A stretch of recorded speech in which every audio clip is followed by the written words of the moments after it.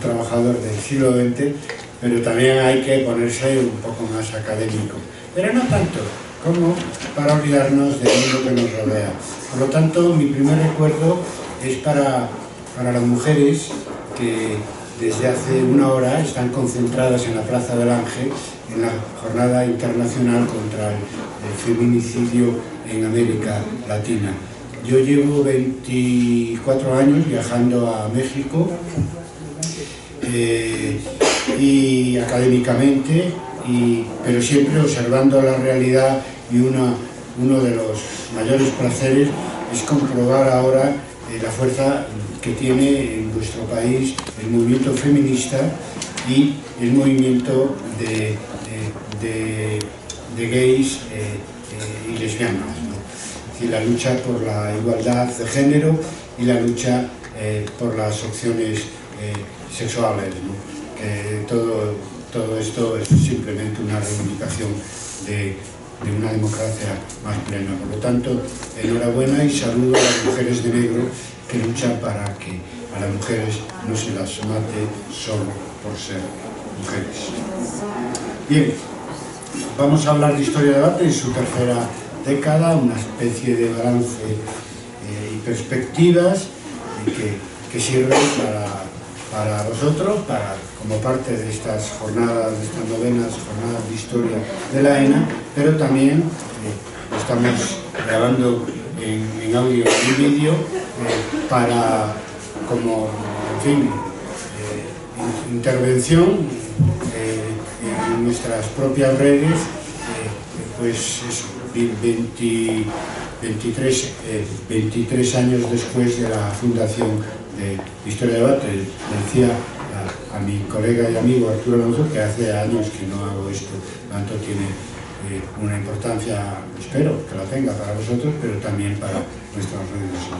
Bueno, Historia de Debate nace en 1993 con motivo de la celebración, eh, cuatro años después de la caída del muro de Berlín, el primer Congreso Internacional de, de Historia a Debate, pero lo que es la, lo que llamamos la comunidad académica del nuevo tipo en Internet nace en 1999 con motivo de la celebración de nuestro segundo Congreso Internacional en Santiago de Compostela.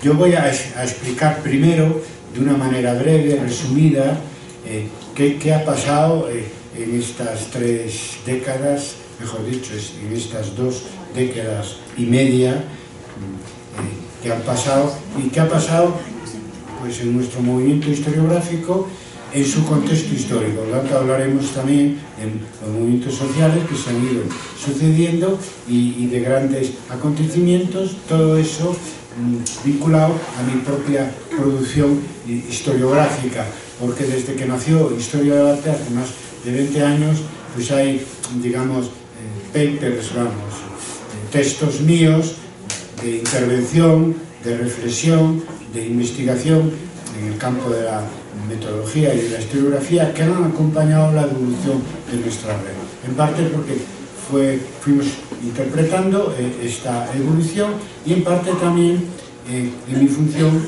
de fundador, coordinador y orientador de esta red internacional de historiadores en la cual México eh, siempre ha jugado un papel esencial o sea, el papel más importante después de, de España y sus universidades.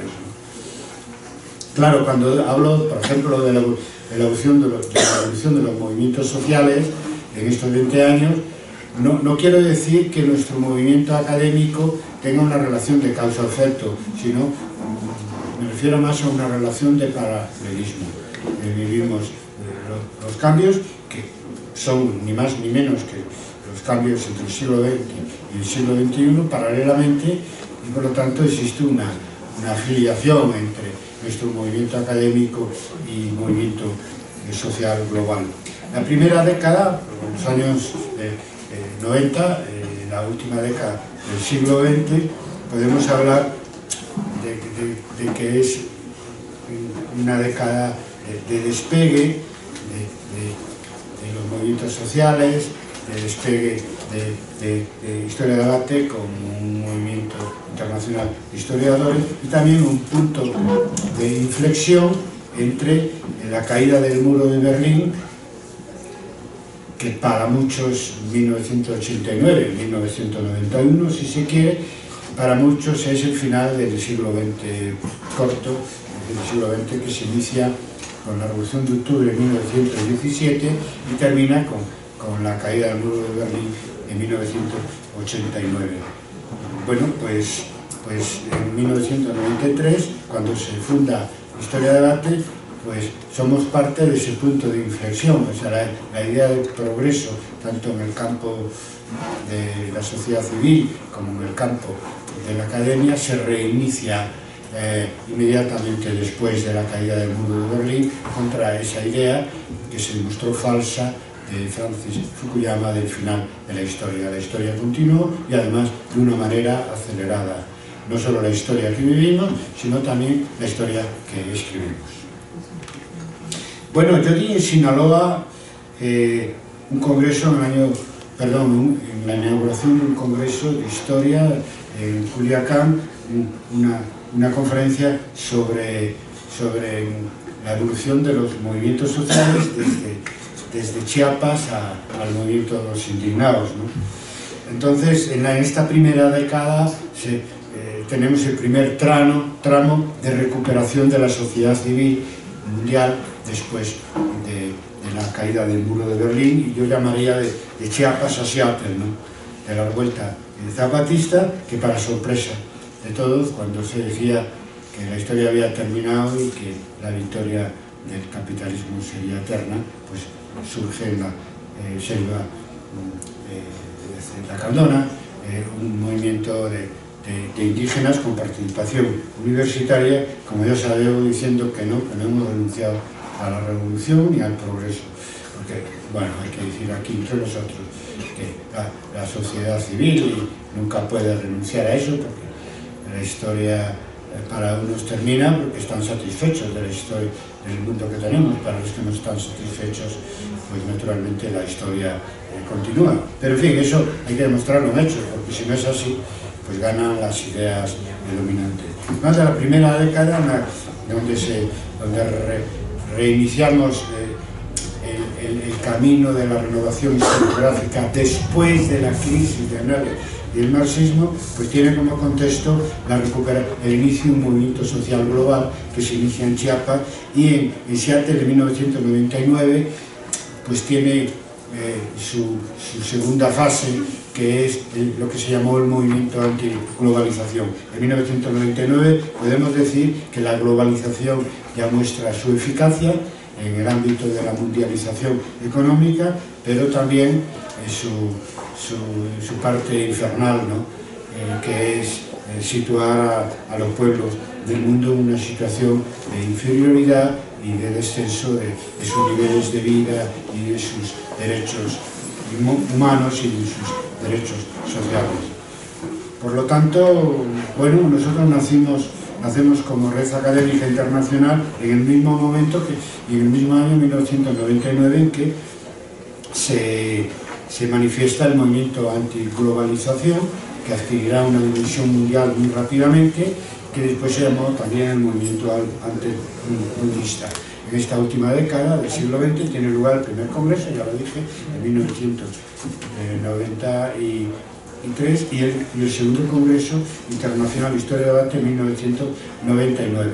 Los congresos siempre se hacen en Santiago de Compostela con una media de 150 ponentes en muchos países del mundo. Pero en, el segundo se produce dos giros importantes. Primero el giro digital y segundo el giro latino. El giro digital porque es en 1999 cuando en la organización del Congreso utilizamos Internet. Se crea una página web unas listas de correo electrónico y ahí nace la Historia Debate como, como, red, como red digital. También, al mismo tiempo, paralelamente, es en este segundo congreso en 1999, donde la participación latinoamericana no solo es importante, sino que es muy importante y donde se, se establece por primera vez esa alianza entre historiadores europeos, sobre todo eh, españoles, e historiadores de las universidades latinoamericanas, que será una constante en los 17 años siguientes. Es decir, eh, un eje eh, iberoamericano de historiadores eh, que consigue jugar un rol importante como movimiento global gracias a esa alianza en igualdad de condiciones equitativa entre historiadores españoles historiadores mexicanos, argentinos, brasileños, colombianos, venezolanos, etc. Eh, de esa primera década son mis, un trabajo mío, la historia que viene, fundador, redactado como conclusión del primer Congreso Internacional, donde se hace ya una propuesta para un nuevo consenso historiográfico, y después en 1998, dentro de esa primera década de Historia de Debate, un trabajo mío que se titula Hacia un nuevo paradigma historiográfico, que modestia aparte se demostró, digamos, eh, profético, respecto a la, evolución, por lo menos en lo que toca a nuevas tecnologías y otros aspectos de la historiografía mundial. Eso antes de, de, ser texto escrito, fue una conferencia mía en la Universidad Autónoma de Chiapas en 1998.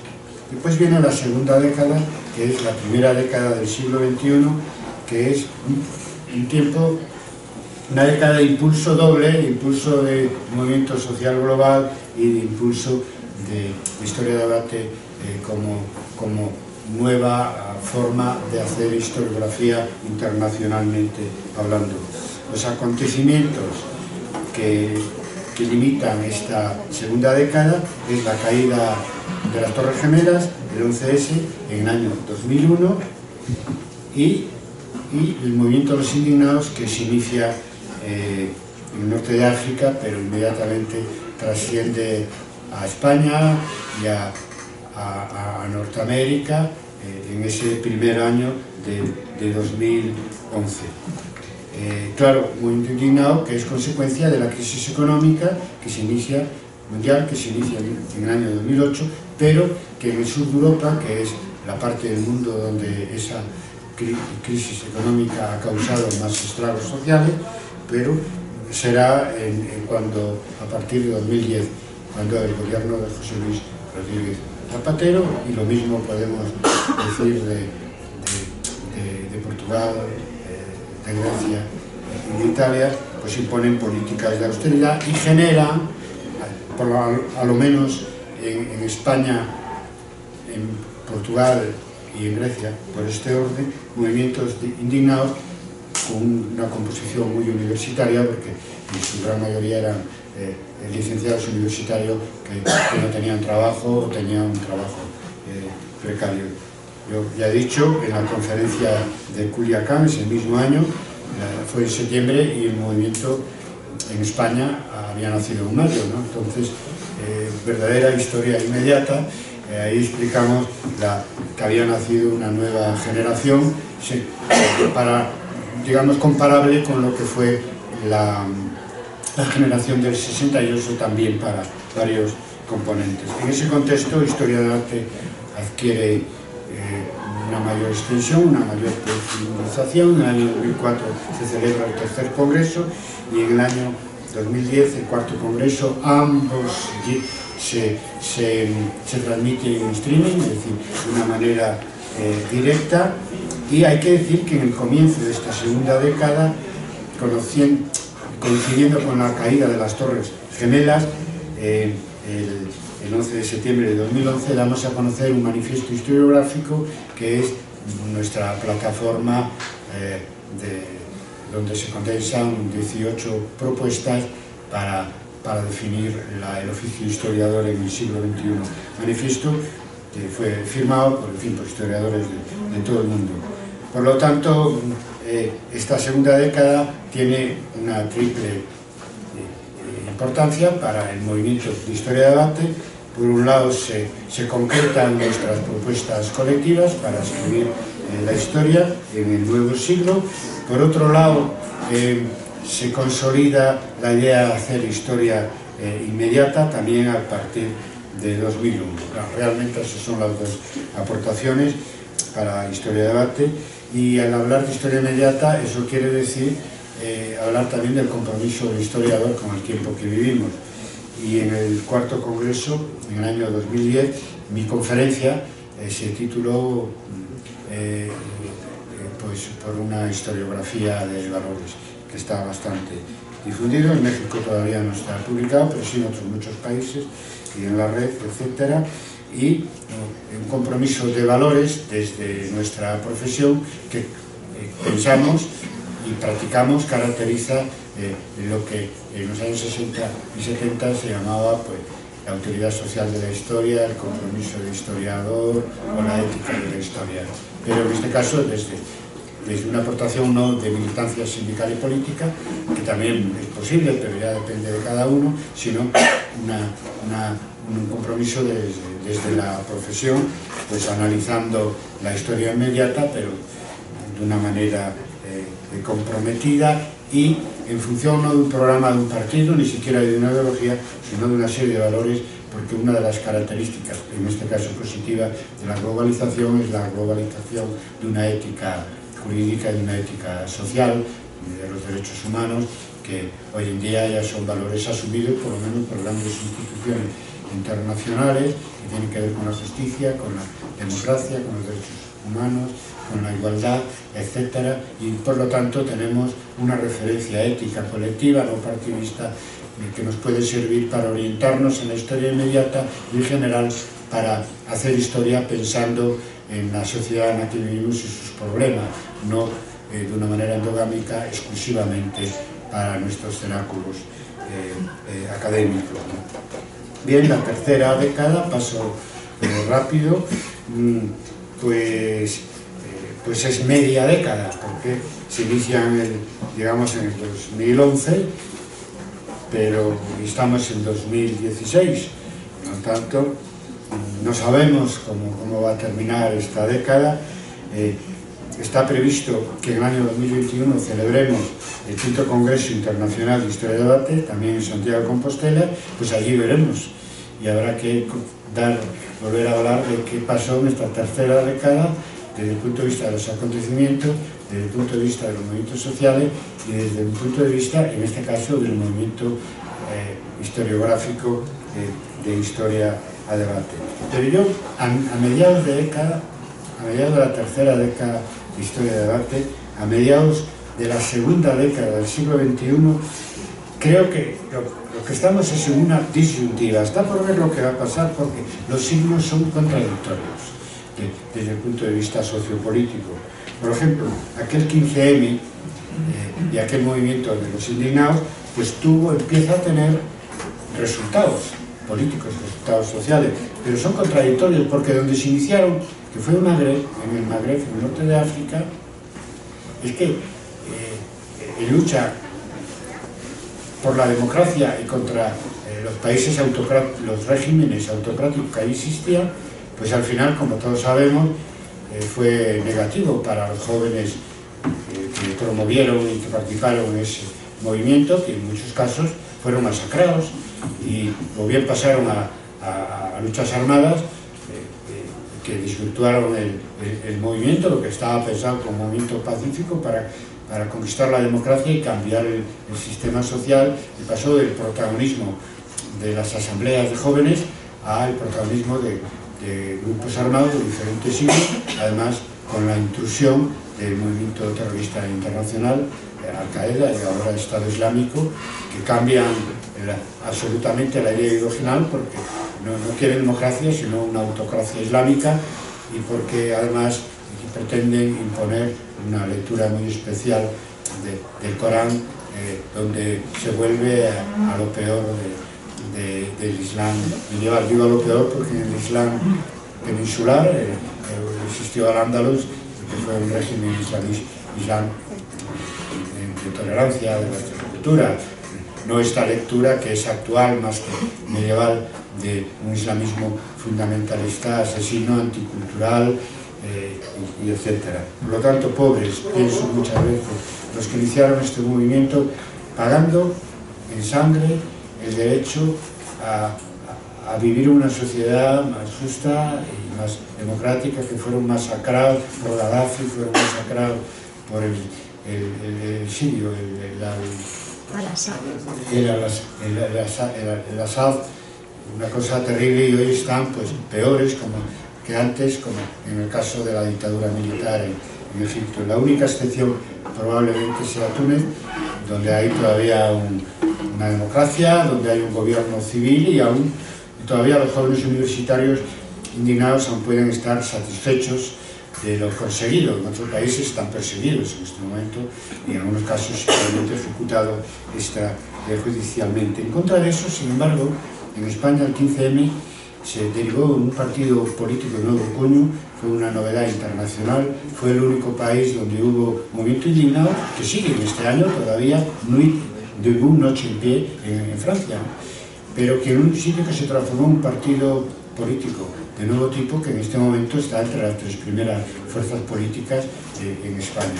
Es un fenómeno extraordinario también para la historia de las ideas políticas y de los movimientos eh, sociales, porque ha generado un movimiento en contra y ahora incluso el Partido Socialista quiere apoyar para que gobierne el Partido Popular, que es un partido de derechas, pero no es lo peor, porque es un partido enormemente corrupto, pero, pero a medio plazo yo pienso que podemos tener un, gobierno de izquierdas, esperamos, en, en España, determinado eh, justamente por esta fuerza de nuevo tipo, salida del movimiento de los indignados y que está, y es un honor para la universidad, dirigida por un grupo de, de jóvenes eh, profesores de, ciencia eh, política de la Universidad Complutense de Madrid.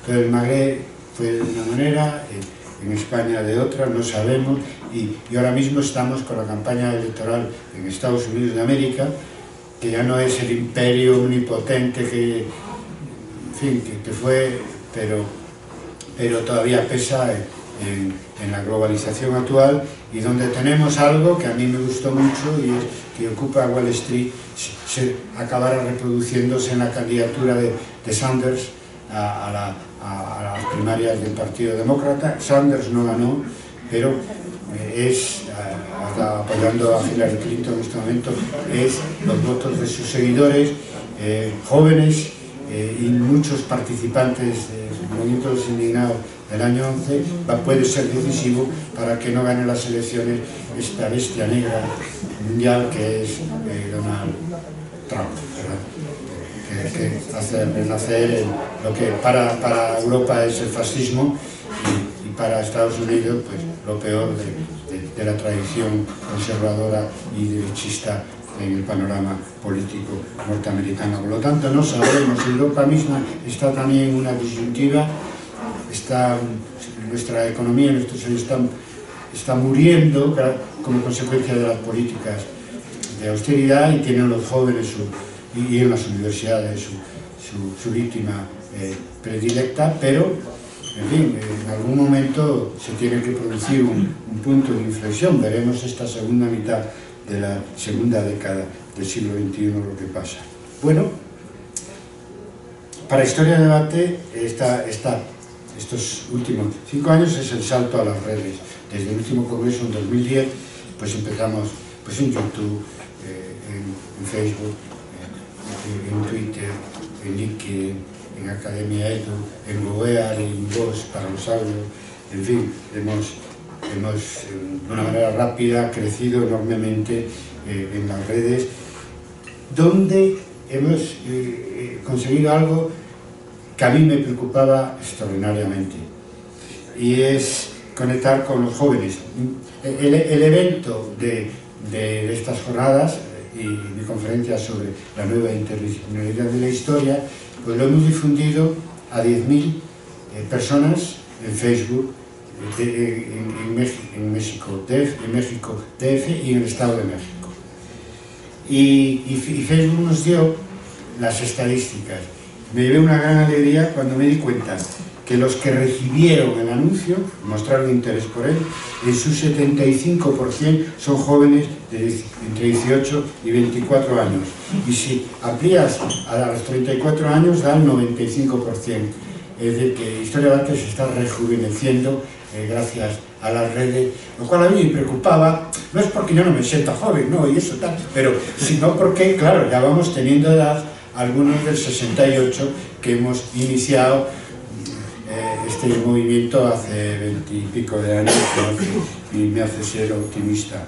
Bueno, hay dos trabajos que tampoco, están publicados en México, pero sí en otros países, y en España, y en papel, y, en, digitalmente, que, que, he hecho en esta cinco, años de particular importancia para entender la evolución de historia de debate y como orientación para nuestro movimiento en esta tercera década de, existencia de, historia de debate. Uno es el oficio historiador, nuevo paradigma o positivismo, donde detectamos un retorno incluso entre los jóvenes eh, al positivismo y al mismo tiempo, en el otro extremo, pues naturalmente eh, un avance hacia un, nuevos paradigmas, un nuevo consenso, donde yo creo que historia de debate es la experiencia eh, más completa y, más fuerte, ¿no? pero bueno, también se da en otros países esta búsqueda de nuevos paradigmas.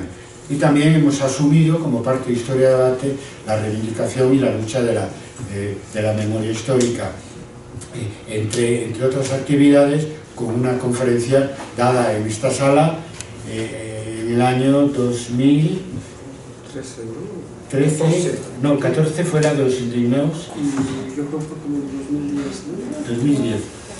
Pues bueno, dimos, dimos el 12 o así, dimos en algún momento en esta sala una no, en esta sala, no en esta escuela, en otra sala, hemos dado una conferencia sobre historia de la memoria y la memoria de la historia. Entonces, otro, otro, otra dimensión más historia de debate que tiene que ver con aquel salto que dimos la década anterior hacia, hacia la historia inmediata. Bien, ahora os voy a leer rápido los, los datos de, la participación de, de miles, porque son miles de historiadores, en su mayor parte jóvenes, profesores de historia, interesados por la historia en todo el mundo, en nuestras actividades a fecha de julio del año 16. En las listas de correo electrónico, que Carmen ha pasado por ahí una hoja para la que tenéis que apuntaros, tenemos dos, una historia de debate y otra historia inmediata, ha levantado ahí la hoja. Pues entonces tenemos ahora 2.253 inscritos de un número elevado de países, 40 o 50, y pasamos información por correo electrónico.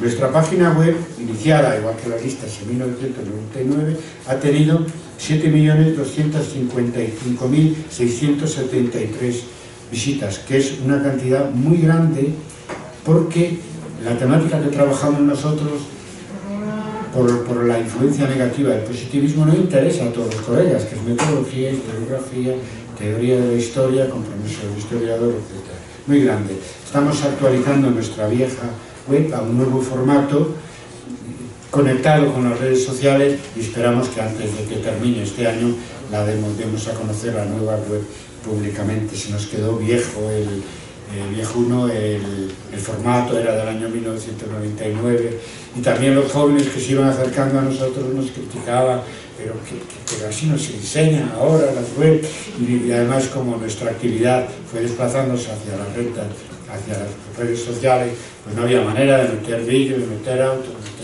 audio, meter Facebook, meter todo eso. Entonces estamos en ese trabajo que está prácticamente terminado, en unos meses la presentaremos públicamente. Después también tiene importancia una web personal mía, www.cebarro.com, donde hay como un centenar de trabajos breves, algunos no tanto, textos escritos me refiero, que han recibido, que no es poco, en estos últimos eh, pues 15 años o más, 749.124 visitas para fundamentalmente eh, lectura de, textos, de historiografía y también de historia medieval.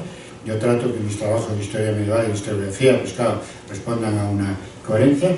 La, nueva novela o novísima historia que preconizamos la, la, trato de aplicar a mis trabajos de historia medieval. Entonces es una cantidad importante, llegaremos probablemente en dos años a un millón, ¿no? De visitas y se trata de una web totalmente académica y, llena de trabajos, nada más, donde ahí lo puedes sacar por, descargarlo, sacarlo por por la impresora, etc. Y que además da una cantidad desmesurada de lecturas que, que, no tiene nada que ver con los formatos de escritura en papel. ¿no? Nunca vas a conseguir de un grupo de, de textos, pues casi pues, nos vamos acercando al millón de, de lecturas. ¿no? Eso que está fuera de todo lo que, piensan las agencias de regulación académica y todo eso, porque hablan de impacto de una revista y es, ¿qué impacto es este? Porque los lectores, que son por centenares de miles de mis, publicaciones de historiografía, pero también de historia medieval, no solo son profesores y estudiantes de historia, son interesados por la historia, pero vamos, como allí todo esto está publicado también en papel, en revistas, en libros, etcétera, pues se publica, se cita también en otros trabajos académicos y etcétera. Por lo tanto, también estamos revolucionando la manera de escribir y difundir eh, académicamente, ¿no? que no aparece tan reconocida a la hora de los currículos y de la evaluación de los currículos, pero eso es lo que hay que hacer, ir por delante de la maquinaria de, de burocrática de la universidad, eh, si no eh, estamos perdidos, nos quedamos encajonados por las propias limitaciones burocráticas que imponen a las revistas, a los libros, eh, los currículos, a la forma de escribir historia y todo eso, aunque yo, de todas maneras, creo que hay que hacer las dos cosas. Escribir académicamente, en este caso, pero que la difusión no sea solo académica, que sea una difusión global, porque en definitiva nuestro destinatario final, eh, donde, exponer los resultados de nuestra investigación es el público en general, o debería ser el público en general, no, solamente escribir de colega a colega. El manifiesto historiográfico del año 2001 pues, ha alcanzado 584 eh, adhesiones de 34 países. Una de las ideas es actualizarlo y sacarlo de nuevo a la firma, eso es, digamos, eh, dentro de ese sistema solar que llamo yo, que, que sería historia de arte, pues eso es el centro, ¿no? es el centro que son nuestra, nuestra alternativa historiográfica. Bueno, y pues las redes, ahí nos podéis buscar, porque estamos en todas, no, estamos como Carlos Barros, estamos como Historia Inmediata y estamos como Historia del Arte. Y, eh, y en algunos sitios empezamos por Historia del Arte y otros sitios como por ejemplo, en LinkedIn empezamos con un perfil mío personal, pero al final todo viene, va a dar a lo mismo, ¿no? Más o menos. ¿no? En YouTube hemos subido, hay uno de Historia de Debate y uno personal mío, hemos subido 555 vídeos, eh, nuestros dos canales tienen 2.172 suscriptores y ha habido de estos 500 vídeos 232.312 eh, visualizaciones, que es mucho. Porque eso son conferencias como esta, seminarios, mesas redondas, en su práctica. En totalidad tratamos de escribir la historia de otra manera a, través de vídeos y, y, todavía no hemos logrado que en un paper se pueda citar un texto pero también citar una conferencia y yo os juro que a la hora de preparar una conferencia me documento con bibliografía y, tanto como a la hora de escribir me lleva menos tiempo, eso sí no tengo que poner citas a pie de página, ¿no? notas a pie de página, pero es tan riguroso lo que dije en la conferencia sobre la nueva introducción de la historia que un texto. Es más cómodo trabajar académicamente con el texto, pero es que no me da tiempo a escribir todo lo que produzco oralmente. Entonces hay cosas que a lo mejor ni siquiera las redacto, ¿no? porque teniendo yo voluntad de larga vida, como decía un Gómez Pazos de Provell, un personaje que escribió defendiendo de los, señor, señores feudales muy agresivos su castillo de Tenorio, decía de un bastardo que tiró por la almena porque no estaba dispuesto a, defenderse, quería rendirse. Decía, es el Gómez, el, joven tenía voluntad de larga vida.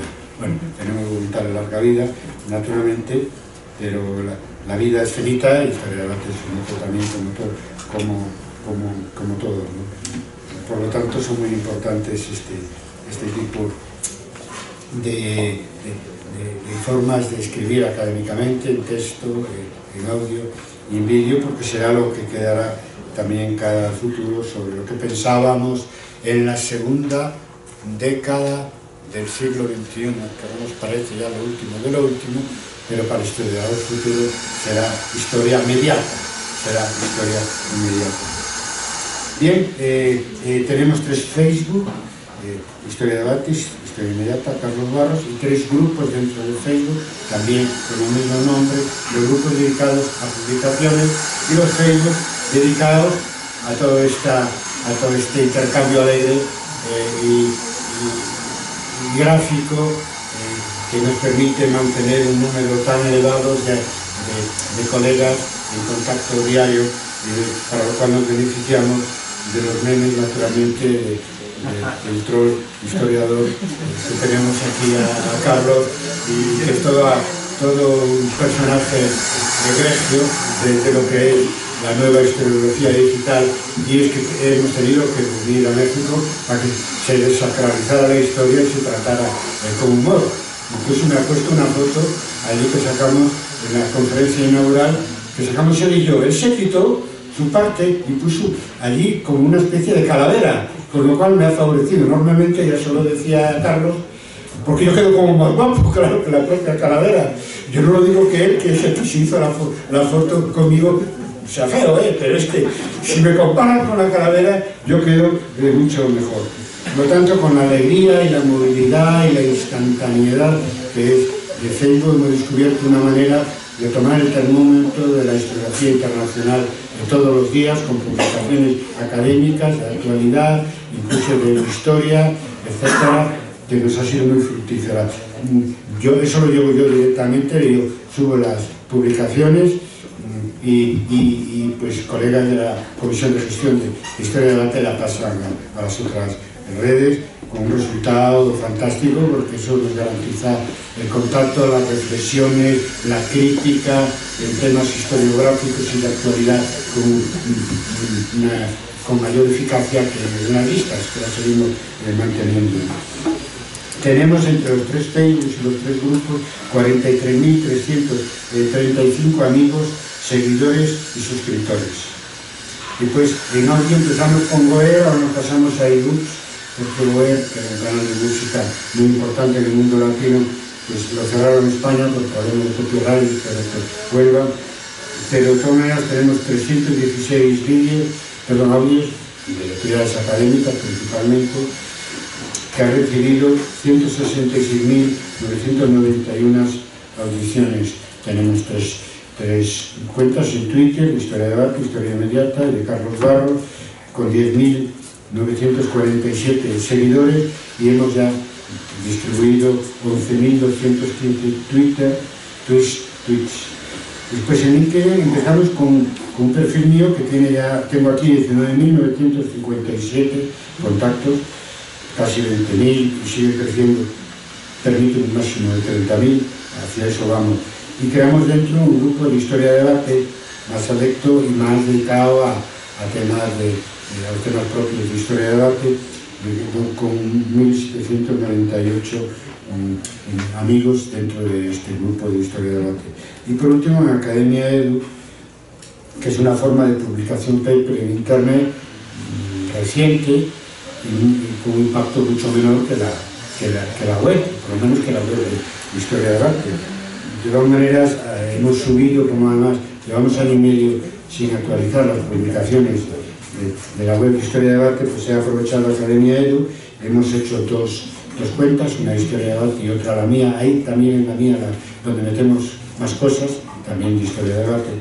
Tenemos 174 papers subidos, 1963 seguidores, 24.324 mm, eh, visitas, que no está mal. En total, en las redes tenemos 80.172 amigos, contactos y suscriptores si sumamos eh, Facebook, Twitter, YouTube, LinkedIn y Academia Edu. No es una cantidad enorme porque estamos hablando de un contacto diario, hablando de publicaciones y hablando de debates, que, que son las dos actividades que resaltan más.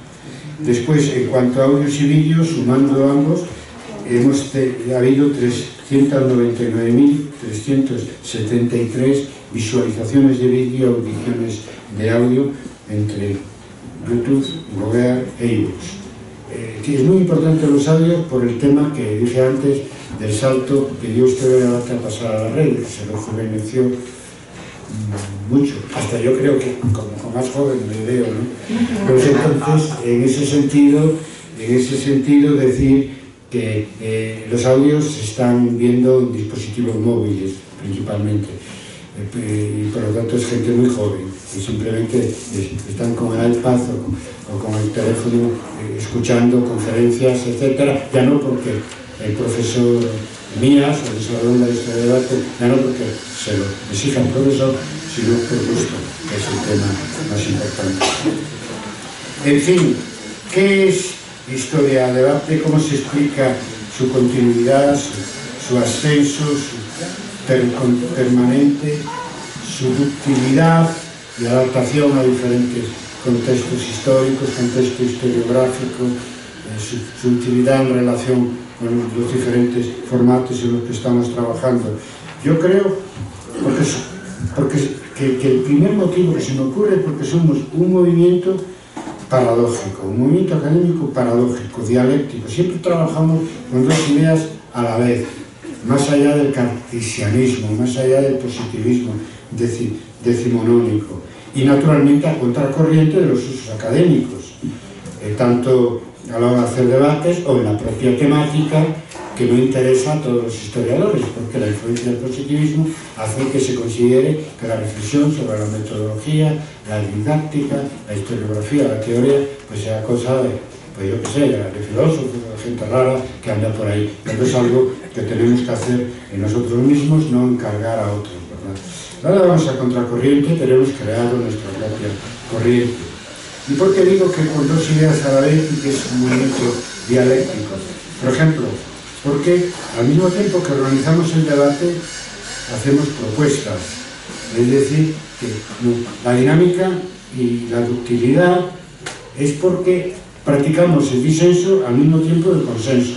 Porque hablamos de un nuevo paradigma, un nuevo paradigma, el término de paradigma en la historia de la ciencia es consenso entre una comunidad especialista.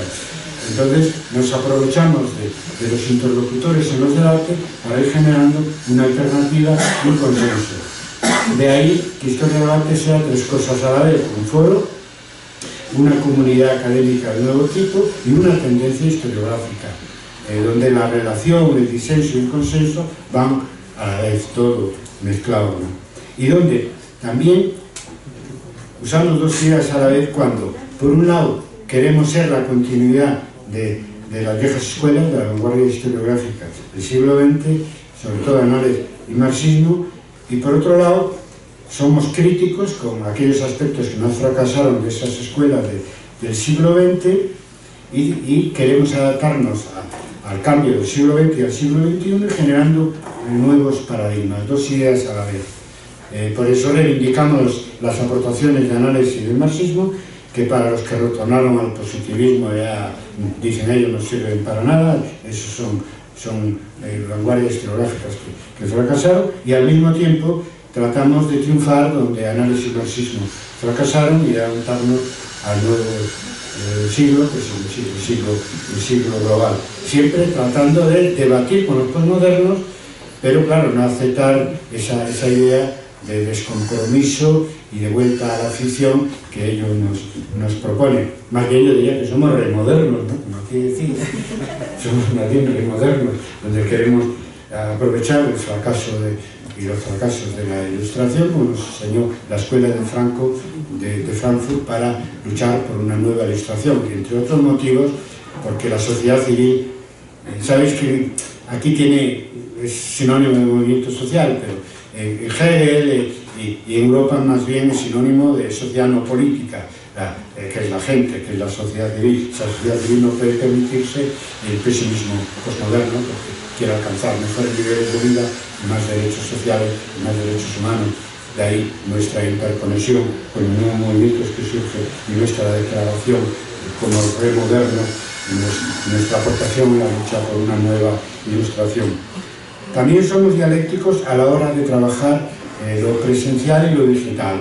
Lo presencial serían, digamos, nuestros congresos, el intercambio académico, nuestros eh, viajes, etcétera, que, que yo hago de vez en cuando y lo que también otros colegas visitan Santiago de Compostela y eso, y eso es importante, lo estamos manteniendo, preparamos el quinto congreso para el año 21, pero es en el ámbito digital donde, está la clave de la expansión y la continuidad de historia de. Eh, nosotros no, no, negamos una parte institucional, pero, pero no, no, jerárquica, por lo menos no tan jerárquica en nuestro trabajo, de hecho, de ahí hacemos congresos y todos somos profesores, universitarios y trabajamos, mantenemos una relación de jerarquía con los alumnos, en fin, y hacemos exámenes y sufrimos evaluaciones, todos nos movemos la universidad como institución. Ah, pero queremos ser transversales, y transversales no solo con otra disciplina, sino también con otros países, y transversales también en la relación con la sociedad. Es decir, y nuestro movimiento, podemos presumir, es democrático y horizontal. Es decir, tú puedes ser ahí un super catedrático, etcétera, que tu opinión eh, simplemente es influir en historia del arte por tu nombre en la universidad a la que perteneces lo que vale tu participación es lo que vale en, cuanto a su contenido, no base a la jerarquía de que interviene. Y de hecho, aunque los debates están muy, protagonizados, profesores, por investigadores, pues un estudiante puede participar, y no digamos en Facebook, por supuesto, pero ya en formatos más, más canónicos eh, puede participar, incluidos en los congresos. Eh, no digo un estudiante, pero por lo menos un becario o un posgraduado puede presentar la misma ponencia que un profesor consagrado. Solo desde el segundo congreso ha sido así. No hay diferencia entre ponencias y comunicaciones, todos son ponencias. y aunque sea un chico joven que empieza, pero que tiene algo que decir y que puede tener algo más importante que decir por resultados, reflexiones y investigaciones que un profesor ya consagrado, Por ahí vamos. Por lo tanto, en ese sentido, nos movemos, pues eso, con dos ideas a la vez, institucional y digital, eh, presencial y, y, y digital. Después también hemos desarrollado un movimiento global, internacional, hoy se diría mejor global, pues que entra en contradicción con el predominio de lo anglosajón en el ámbito internacional, en, en, lo que toca las relaciones internacionales de nuestra disciplina y de casi todas las disciplinas. Hemos dicho no a eso y hemos desarrollado algo único en la historia de, nuestra, de nuestras disciplinas a los dos lados del Atlántico. Es un movimiento global latino, que abierto a, francófonos, a, germanófilos y, a, anglosajones. Porque en nuestra lista desde el principio mantenemos un grupo reducido de, francófonos y de anglófonos a los que le, hacemos llegar traducciones automáticas, claro, de Google, de, de las participaciones para que vayan entendiendo algo. Muchos de ellos ya ya aceptan la realidad de que el español es la segunda lengua internacional, la segunda lengua franca, después del inglés en el mundo de hoy, dentro y fuera de Internet. Claro, dejando fuera el chino, ¿eh? mandarín, no, no, estoy hablando eh, del mundo occidental, eh, eh, nada más. Por lo tanto, en ese sentido, somos globales, pero no, no somos anglófonos y tampoco somos anti-anglófonos, ¿no? Pero más bien los que, los que dicen solamente inglés son ellos. Nosotros somos más plurales y democráticos. De hecho, en los congresos de Historia del Arte siempre hubo traducción simultánea, español, inglés, francés, y en los congresos anglófonos, o vas vestido de anglófono, es decir, hablando inglés, o no vas. Somos, pienso en ese sentido, eh, como practicantes de, del castellano, pues creo que representamos más la pluralidad de la red y del mundo que viene, que, que los propios anglófonos, que todavía dicen only, eh, only English, nada más, o sea, solamente, solamente inglés, porque bueno, eso es, son nostalgias del imperio, porque es que hoy el mundo global es en, todo lo que, en todos los ámbitos, económico, eh, político, lingüístico, cultural, multifocal y, diverso. Y ahí en eso estamos más situados que los anglosajones. Por eso nos alegró que en el año 2005 es decir, eh, eh, pues eso, eh, seis años des, de, después del nacimiento de Historia de Debate como red eh, digital, etcétera, pues hayan descubierto los colegas norteamericanos las humanidades digitales. Nos ha dado mucho gusto, como decís vosotros aquí, que sigan nuestro camino, que no nos citen, ¿no?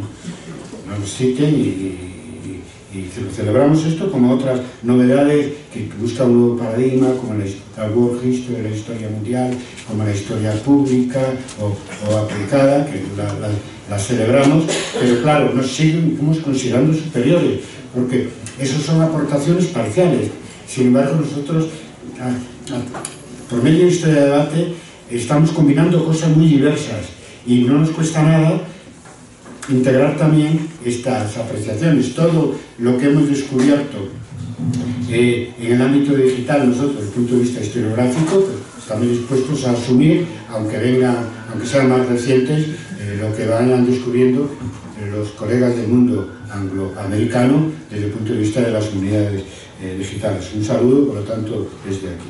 Pero, en fin, un movimiento global, latino, transnacional, tras especialidad, eh, tras, academ tras academia, es decir, eh, eh, obviamente interdisciplinar desde el punto de vista de la disciplina de la historia y porque nos cansamos de tener ahí sociólogos, politólogos, antropólogos, eh, lingüistas, que les, filólogos que les interesa la historia.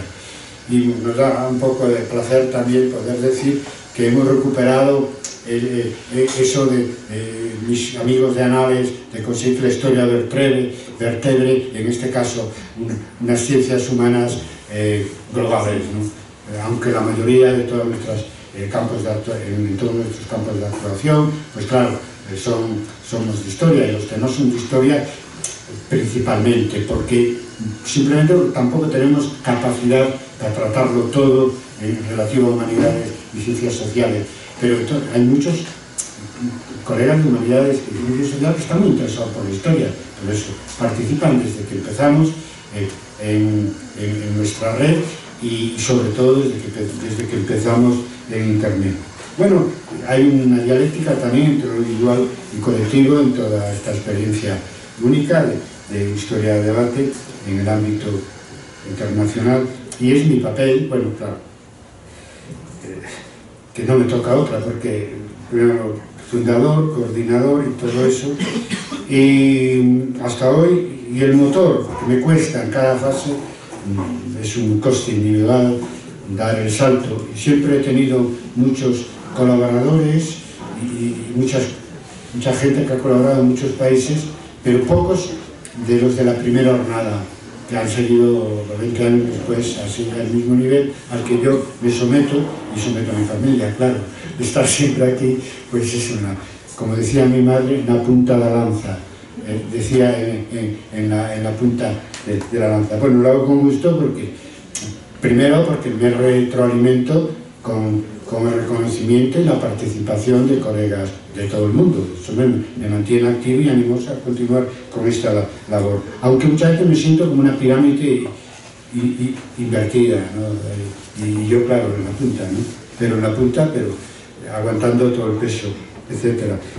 Y si he llegado hasta aquí en estos 20 años, porque además he tenido que dar clase, escribir mis investigaciones y mil cosas más, bueno, ahora ya desde, desde, desde el 31 de agosto yo no doy clases. Una gran alegría, tengo más tiempo para escribir, para viajar y sobre todo para prestar atención a historia de debate. Esto fue posible por las miles de, de, de, complicidades de colegas de todo el mundo. Con algunos tengo una relación más estrecha, como aquí en el caso del DF, pues con Norma de los Ríos en la UNAM, con Arturo en, en la ENA, con Gerardo Mora en, en, la Escuela Normal Superior, con Jorge Castañeda en, en, en Instituto Mora, etc. Pero después, mm, pues colaboraciones, eh, no sé, puntuales, eh, etcétera, pues a través de estos medios de comunicación en los que nos movemos, eh, donde a veces es que ni me acuerdo, aquí acabo de reconocer a, a, a Antonio Ruiz, aquí,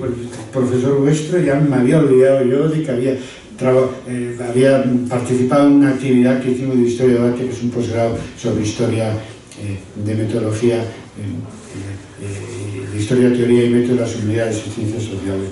Estuvimos 10 años ahí, tuvimos pues, alumnos egregios, como en el caso de Antonio, de, diversos, diversos países. Bueno, eh, mi web con mis eh, reflexiones y elaboraciones paralelas al desarrollo de historia de debate, ya os dije, que está muy concurrida también, nos vamos acercando a los 800.000 visitas, y ahí se ve un poco cómo mi pensamiento historiográfico fue evolucionando con la evolución de historia debate y de la sociedad y de la historia entre el siglo XX y el siglo XXI. Lo recomiendo eh, porque yo a estas alturas ya nunca me importó mucho el currículo académico tradicional, siempre fui un poco temeroso en ese sentido, ahora siempre cumplí como profesor y como investigador y todo eso, pero ahora menos, ¿no? Entonces, cada vez me importa más que, que llegue al estudiante, que llegue a la gente de los movimientos sociales y eso, y el instrumento es la web y, mm, y es son los recursos digitales. Por lo tanto, lo que decía, yo siento que historia de arte es, es una cosa tan diversa, con varios planetas que giran alrededor de un centro que yo creo que es una propuesta. Alguien puede pensar que soy yo, ¿no? Pero en todo caso sería mi mujer que se llama Luz, ¿no? Eh, pero de todas maneras es verdad que somos como un sistema planetario. A veces me parece como un pulpo que tiene muchas, muchas, muchas, eh, muchos brazos, ¿no? Porque, porque hacemos con cosas muy distintas, el manifiesto, los congresos, publicación en papel, publicación en web, en vídeo, en audio, y eso da lugar a que haya públicos distintos.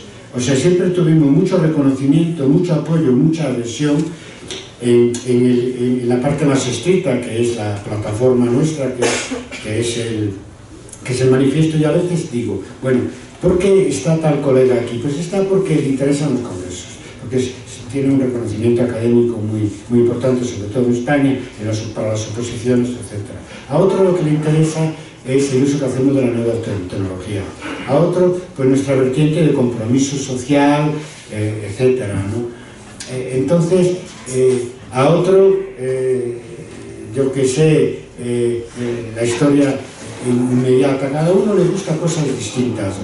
Y tenemos, tenemos un público muy diverso, por eso hablo de planetas alrededor de, una fuente central de iluminación que es también lo que nos permite de una manera plástica adaptarnos a los diferentes contextos histórico, historiográfico y seguir estando en vanguardia mientras la salud y Clio nos lo permitan.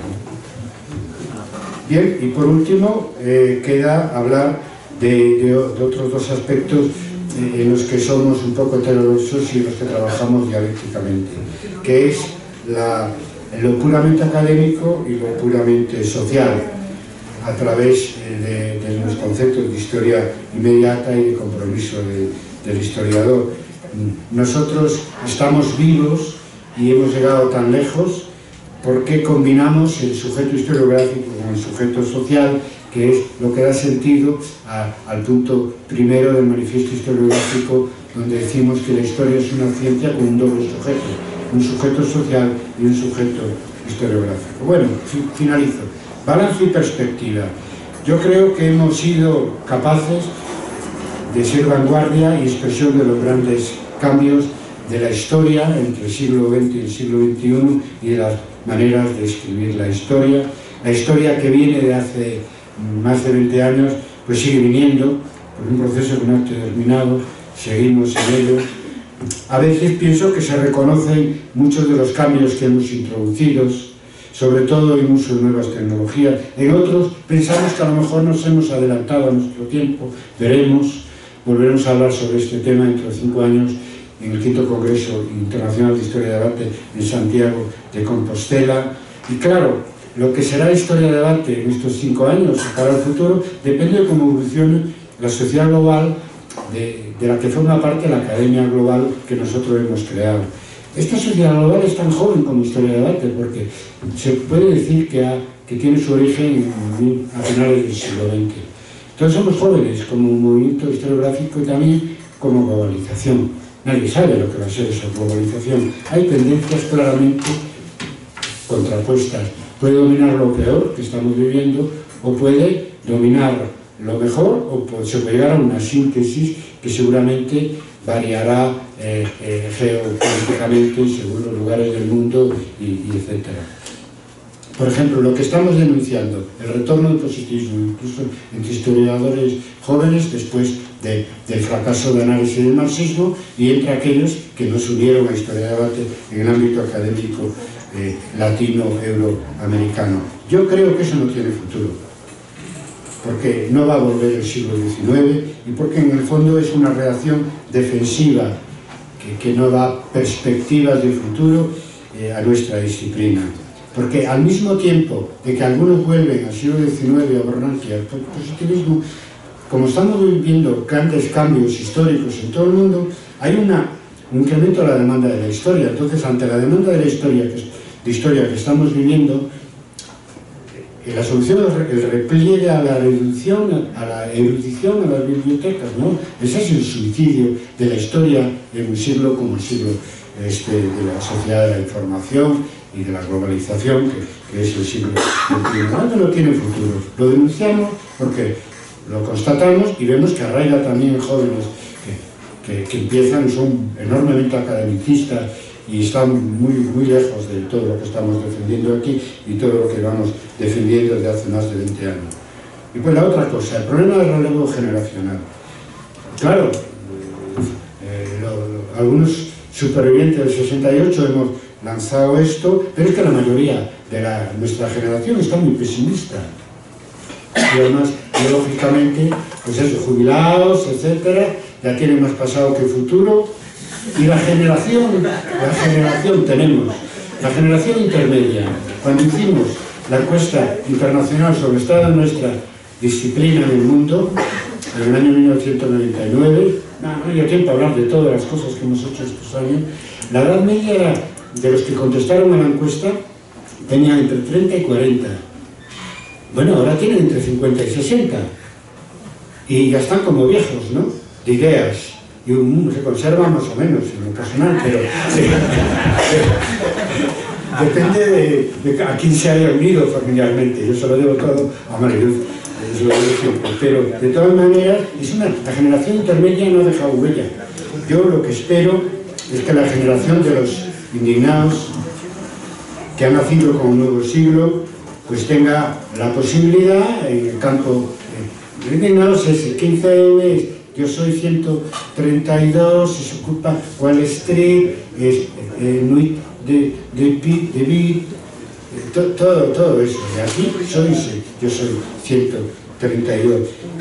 Eh, notamos que a pesar de las políticas de austeridad no ha bajado el número de alumnos de historia en Europa, concretamente en España. Yo lo, vivo, lo viví en mi propia facultad. ¿Por qué? Porque eso de que las humanidades no, no, han, salido, no han salido profesionales eso se relativiza mucho porque en España tampoco ni ingenieros, ni economistas, ni abogados pues tienen salidas. Entonces, eh, los jóvenes dicen, no, para eso voy a estudiar lo que más me gusta, ya veremos qué pasa.